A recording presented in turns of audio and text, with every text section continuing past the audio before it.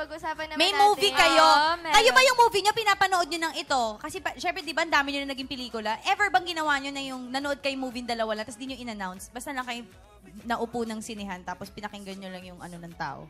O hindi, di nyo pa nagawa yun. Ano?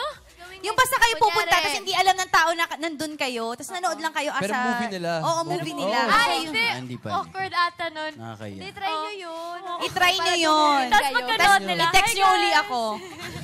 Gusto talagang kasama. Gusto Pero ayan updated. nga, um, Can't Help Falling in Love. Um, malapit, awan ko kung, pwede na ba sabihin yung date? Pwede na. Ayan, pwede na! Ito na!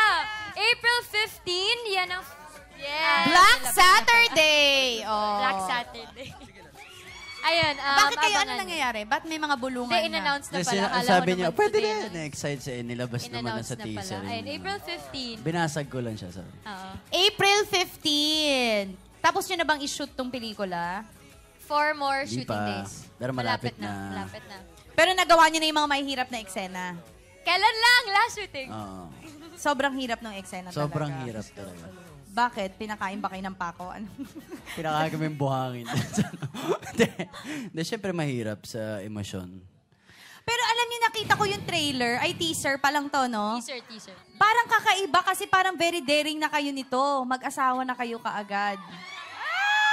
So ano ba siya? Mag-asawa ba talaga? Or Oh, parang- level up na ba talaga yung... Basta parang nakasal kaming dalawa. Tapos meron kaming kailangan ayusin na doon iikot yung story and mamimit ko yung mga tao sa buhay niya, ganun. Tapos nag-shoot kami talaga sa Cebu para sa ibang scenes din. Ano ba to medyo daring na parang kakaiba na dun sa ginawa ninyo? Rom-com siya talaga, pero hindi siya yung um, rom-com na nagawa namin dati na um, parang Oo, oo. crazy. Mas mature siya na. Pero rom-com, as in light lang yung movie. Ma-enjoy ng panoorin. Ba, hindi parang Barcelona na may iyak ako. Oh, hindi. It's not Super heavy light. drama. Hindi, medyo, pwede rin namang maiyak ka Oo, kung kasi mababaw ka. niyo ako eh. Pinayak niyo ako sa Barcelona eh. Ako, grabe, naiyak ako dun sa trailer niyo. eh. Violent.